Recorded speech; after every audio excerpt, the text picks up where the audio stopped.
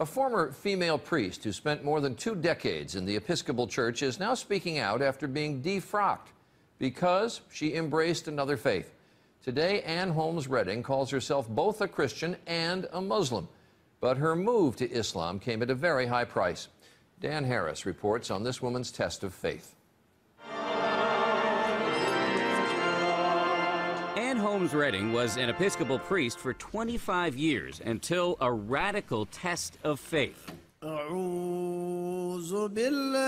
Several years ago, while she was mourning the death of her mother, she was trying out an Islamic meditation technique that she'd learned in an interfaith class.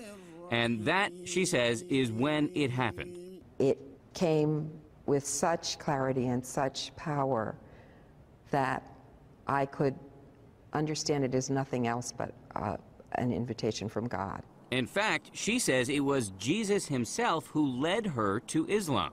You think Jesus led you to become a Muslim? Yes, yes. yes. You're laughing. Because I know it doesn't make sense to people. Now, Redding not only prays in church, but she also prays five times a day to Allah. In Islam, Jesus is viewed as a prophet, Yes, not as the Son of God.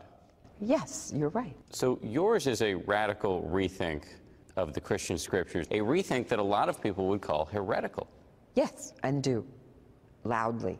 This spring, the Episcopal Church revoked Redding's right to be a priest. Being defrocked, I would imagine, was a pretty traumatic experience. Yes, that's, that's an understatement.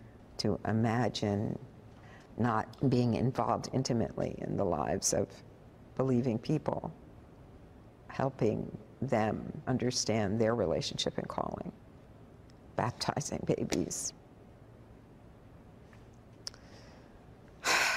It's a big loss. It's a huge loss.